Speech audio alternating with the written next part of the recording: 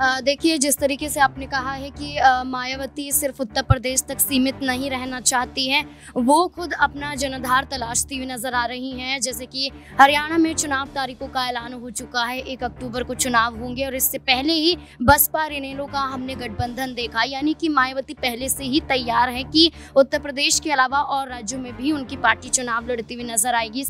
देखिए, पहली बात तो ये कि मायावती एक बड़ा नाम रही हैं भारतीय राजनीति में और ज़ाहिर बात है कि उत्तर प्रदेश में उनकी जो छवि है, बहुत ताकतवर नेता के रूप में रही है। उनको एक समय टाइम्स मैगजीन ने 50 सबसे शक्तिशाली महिलाओं के रूप में भी उनका नाम लिया था, लिखा था उनका नाम। तो ऐसे में आप समझ सकते हैं कि मायावती ने और उत्तर प्रदेश के अंदर जिस तरह से अपनी ताकत का इजहार किया जी, बिल्कुल। देखिए, जिस तरह से अब यहाँ पर उत्तर प्रदेश के उपचुनाव का माहौल बनता हुआ नज़र आ रहा है तो बेशक अगर यहाँ पर मायावती गठबंधन कर लेती हैं तो शायद यहाँ पर ज़्यादा से ज़्यादा सीटें निकालने में कामयाब रहें। लेकिन अगर गठबंधन नहीं करती हैं तो हो सकता है कि आम चुनाव की तरह उनको बड़ा झटका लगता हुआ नज़र आए, क्योंकि देखा जा रहा है जब से 2007 के बाद से मायावती की यहाँ पर जीत नहीं हुई है तो कहीं ना कहीं उनकी पार्टी का सियासी वर्चस्व खोता नमस्कार, मैं शालिनी। स्वागत है आपका हमारे खास प्रोग्राम रंग बदलती राजनीति में।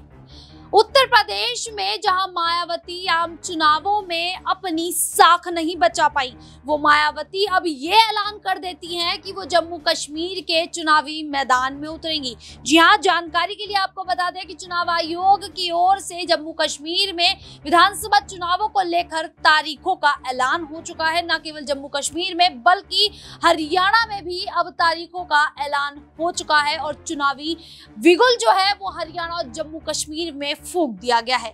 अब जिस तरीके से मायावती ने यह फैसला किया है कि वो जम्मू कश्मीर के चुनावी मैदान में उतरेंगी और ही उतरेंगी। जहाँ आम चुनावों में उत्तर प्रदेश में मायावती कह सके तो लगभग चार बार मुख्यमंत्री रह चुकी हैं। ऐसे में जम्मू कश्मीर में आखिरकार वो अपनी साख कैसे बनाएँगी? उत्तर प्रदेश में तो नहीं बची। तो आज इस पूरे मुद्दे पर चर्चा करेंगे। न्यूज़ रूम में मौजूद है अपने तमाम सहयोगियों से। ये जानने की कोशिश करेंगे कि जहाँ उत्तर प्रदेश में मायावती को, मायावती का गढ़ उत्तर प्रदेश कहा जाता था, चार बार वहाँ पर चुनाव जीत चुकी हैं। वहाँ इस बार जीत दर्ज नहीं हुई, एक भी सीट उनके खाते में नहीं आई। तो आखिरकार जम्मू कश्मीर में किस तरीके से जीत दर्ज कर सकती हैं? क्या रणनीतियाँ बसपा ने बनाई होंगी, जिसके हिसाब से अब वो हरियाणा के चुनावी मैदान में भी उतर गई हैं, जम्मू कश्मीर में भी उतर गई हैं और बिहार में भी चुनावी मैदान में उतरने का ऐलान कर दिया है।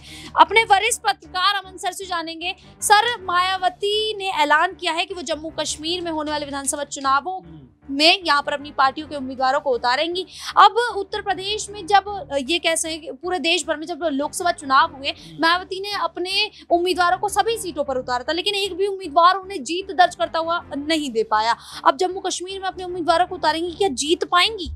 देखिए, पहली बात तो ये कि मायावती एक बड़ा नाम रही हैं भारतीय राजनीति में और ज़ाहिर बात है कि उत्तर प्रदेश में उनकी जो छवि है, बहुत ताकतवर नेता के रूप में रही है। उनको एक समय टाइम्स मैगजीन ने 50 सबसे शक्तिशाली महिलाओं के रूप में भी उनका नाम लिया था, लिखा था उनका नाम। तो ऐसे में आप समझ सकते हैं कि मायावती ने और उत्तर प्रदेश के अंदर जिस तरह से अपनी ताकत का इजहार किया, मुजाहरा किया, वो ये बताता है कि वो एक सशक्त कह सकते हैं कि महिला नेता हैं और ज़ाहिर बात है कई बार मुख्यमंत्री रही उत्तर प्रदेश की, अपने दम पर भी उन्होंने सरकार बनाई है। तो ऐसे में उनको और मज़बूत होना चाहिए था, लेकिन 2012 के बाद से लगातार देखा गया है कि मायावती न सिर्फ़ उत्तर प्रदेश में, बल्कि तमाम देश के सूबों में उनकी जो पार्टी थी, वो लगातार कमज़ोर हुई है। और अब अगर हम बीते चुनाव की बात करें दो की तो लगभग चार से भी ज़्यादा सीटों पर उन्होंने अपने प्रत्याशी उतारे। और हैरानी की बात ये रही कि एक भी सीट को वो जीतने में कामयाब नहीं हो सकी। तो अब ऐसे में उनको पता चल रहा है कि यहाँ पर उनका जो संगठन है, उनका जो वोट बैंक है, वो लगातार उनके हाथ से खिसकता हुआ दिखाई पड़ता और देखिए, आकाश आनंद को बड़ी उम्मीद के साथ वो लेकर आई थी कि वो शायद पार्टी को आगे बढ़ाएँगे,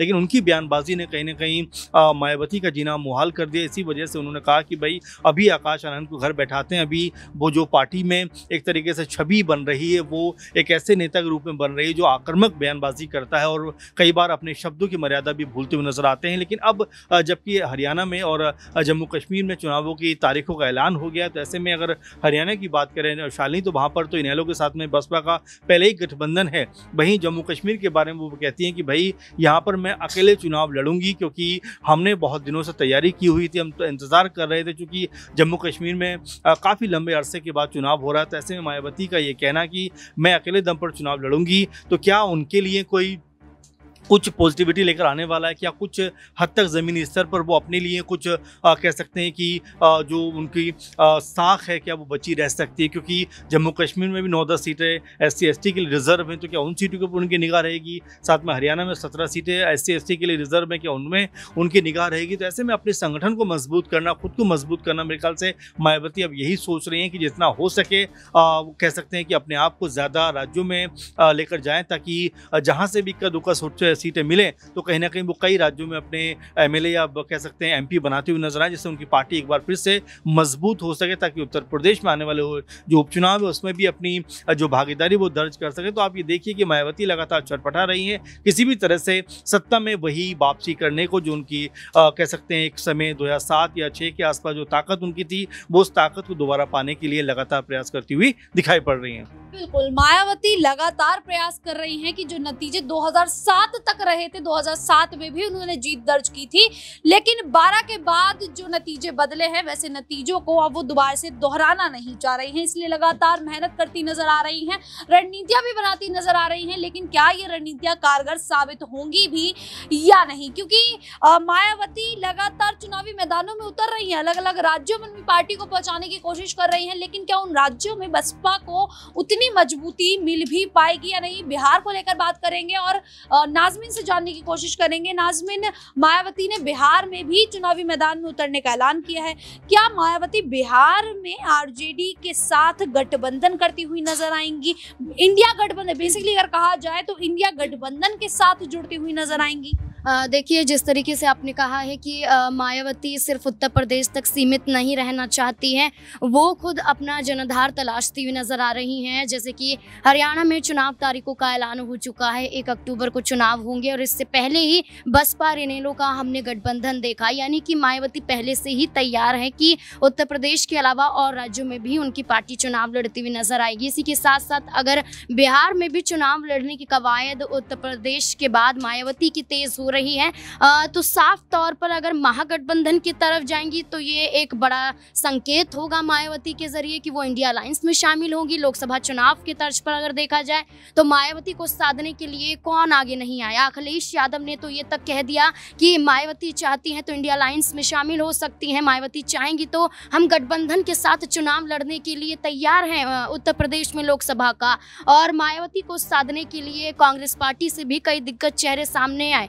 राय की भी बात करें तो वो सीधे तौर पर भी मायावती को लेकर ये बयान देते हुए नज़र आए थे कि हम उनके साथ हैं, उनके सांसदों के साथ हैं, लेकिन जैसा दानिश अली के साथ हुआ, उसके बाद तो मायावती ने फैसला ये कर लिया कि कांग्रेस पार्टी के साथ तो वो बिल्कुल भी नहीं जाएँगी। और दानिश अली की बात करें, जो उनके सांसद रह चुके हैं, पार्टी से निष्कासित मायावती करती हैं, उसके बाद राहुल गांधी सहारा बनते हैं। अगर आरजेडी के पास जाएँगी बिहार में तो तेजस्वी यादव एक बड़ा चेहरा बन चुके हैं आरजेडी की तरफ़ से। आरजेडी के साथ गठबंधन करेंगी तो इंडिया अलायंस का हिस्सा बनती हुई नज़र आएँगी। तो साफ़ तौर पर भारतीय जनता पार्टी को एक बड़ा झटका लगता हुआ नज़र आएगा। लेकिन जहाँ तक मुझे लगता है कि मायावती ने लोकसभा चुनाव के तर्ज पर विधानसभा चुनाव लड़ने का फैसला किया होगा, गठबंधन को लेकर मायावती की कोई भी रणनीति अभी नहीं है। वरना उपचुनावों में भी वो गठबंधन कर सकती थी, लेकिन उपचुनावों के तहत देखा जाए तो समाजवादी पार्टी और भारतीय जनता पार्टी के मुकाबले वो लगातार प्रभारी भी उतार रही है। चेहरों का कई चेहरों के नाम भी आगे उपचुनावों को लेकर मायावती ने कर दिया है।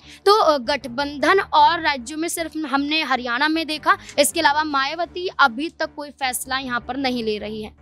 बिल्कुल, मायावती अभी तक गठबंधन को लेकर, खास करके इंडिया गठबंधन को लेकर तो किसी भी प्रकार का कोई फैसला करती हुई नज़र नहीं आ रही है।